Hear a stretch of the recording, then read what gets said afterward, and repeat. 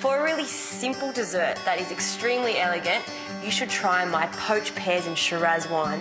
And it's the perfect season for them when in autumn, pears are at their best.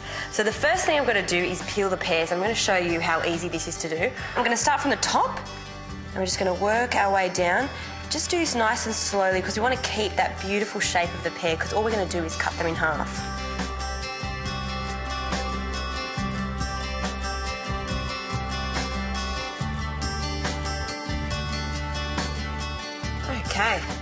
So we've got our five pears done. Before I continue prepping those, I'm going to start getting my beautiful syrup on. So I've got a nice large pot here. And I'm using, don't be afraid, I'm using a whole bottle of Shiraz because we want it to be quite deep and rich in flavour. And this has got quite a robust characteristic to it. And once it's cooked down, all the alcohol is going to be cooked off and we're going to left with this rich, sweet flavour. I've also got 200 grams of sugar. I'm going to add that to the syrup. Lovely. I've also got some orange here and I'm going to take two of the peels off. And we're just going to add that to it. And you can see how simple this is. Now I've got some beautiful other aromats. I've got some star anise and cinnamon. Make sure you put this in. And I use a stick and I break it. And last but not least, I've got one whole vanilla bean. So I'm just going to warm that up with my fingers to make sure we loosen up all those seeds. And then get a knife. And I'm going to cut straight down the middle of that. I'm going to take some of the seeds out. You'll see how many seeds we can get out there. That's beautiful. Look at that. Just by warming it up, you get the most out of it from the oils. So I'm just going to add that to our syrup. And that doesn't go to waste. We're going to pop that straight in there too. So we're going to get that nice and warm. We don't want to start boiling yet. That gives me plenty of time to finish off cutting our beautiful pears. So for the pears now, you can see I've left the stalk on. This is just for presentation. I think they look quite lovely if you leave them intact. So I'm going to cut them in half.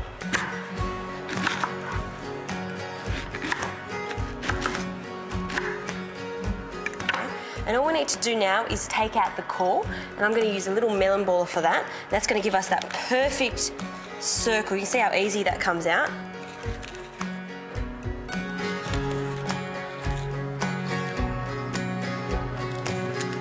And then all we do is pop them in our beautiful wine and cook them for 40 minutes. Oh, I can just smell, it just smells amazing already from that orange and the cinnamon.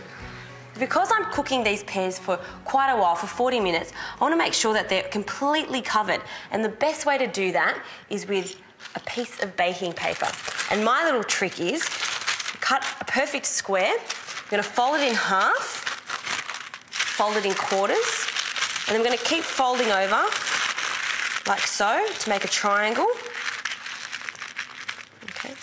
And what I like to do is measure it so you can see where the tip of that baking paper is. So now I'm going to cut about that much to make a perfect cartouche, what we call in French, which is just basically a fancy word to cover that. So then I get my knife, cut that.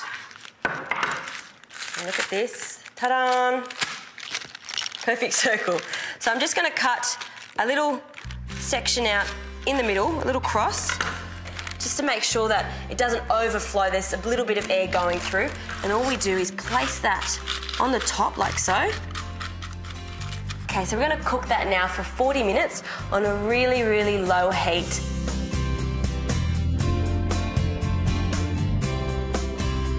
So my pears have been cooking for 40 minutes and I've just turned it off. I'm gonna remove the cartouche and you can see how much the colour of the pears have changed. They're absolutely gorgeous. This is one of these desserts that I serve in the middle of the table because it's so dramatic when it comes.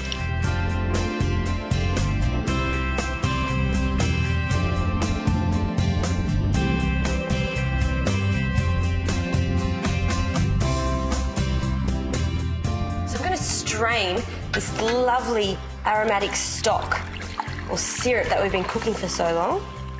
And I'm going to reduce it by a third because you want it to be nice and syrupy and thick. I'm to place that back on the heat.